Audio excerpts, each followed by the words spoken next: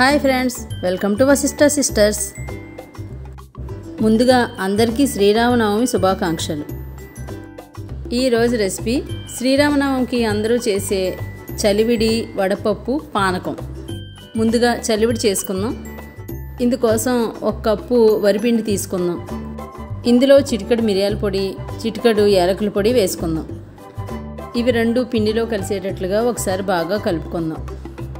ఇప్పుడు ఇందులో తురిమిన అరకప్పు బెల్లం వేసుకుని బెల్లం వరిపిండిలో కలిసేటట్లుగా బాగా కలుపుకుందాం. కొద్ది కొద్దిగా వాటర్ పోస్తూ ముద్దలా కలుపుకుందాం. ప్రసాదాలుగా చేసుకునే చలివిడికి పాకం పట్టిన అవసరం లేదు. ఇప్పుడు ఈ చలివిడిని రెండు భాగాలుగా చేసుకుని ప్లేట్లో పెట్టుకుందాం. దీనిపై ఒక స్పూన్ నెయ్యి కూడా వేసుకుందాం. ఇప్పుడు దీనిపై రెండు స్పూన్ల వడపప్పు కూడా వేసుకుందాం. పెసరపప్పుని నీళ్ళు పోసి అరగంట నానబెట్టినట్లయితే వడపప్పు రెడీ అయిపోతుంది. ఇప్పుడు పానకం ఏ విధంగా చేయాలో చూసేద్దాం. ఒక కప్పు బెల్లాన్ని ఒక బౌల్లో వేసుకుని అందులో రెండు గ్లాసుల వాటర్ పోసుకుందాం. బెల్లం వాటర్లో కలిసేటట్లుగా గడితో బాగా కలుపుకుందాం.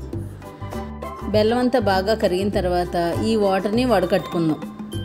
ఎందుకంటే బెల్లంలో నలకలు ఉంటాయి కాబట్టి తప్పకుండా వడకట్టుకుంటే బాగుంటుంది.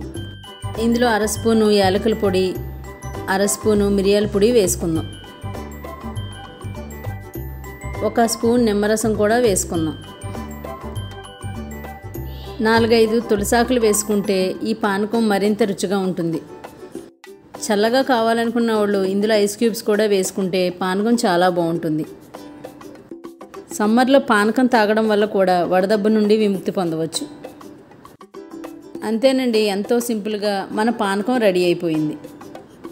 శ్రీరామనవమికి ముఖ్యంగా చలివిడి వడపప్పు పానకమే కాకుండా పులిహోర పరమాన్నం దద్దోజనం కూడా శ్రీరాముడికి నైవేద్యంగా సమర్పిస్తారు. మీకు మా వీడియో కనుక నచ్చినట్లయితే లైక్ చేయండి. మరిన్ని కొత్త వీడియోల కోసం మా ఛానల్ సబ్స్క్రైబ్ చేయడం మాత్రం మర్చిపోకండి. Thanks for watching.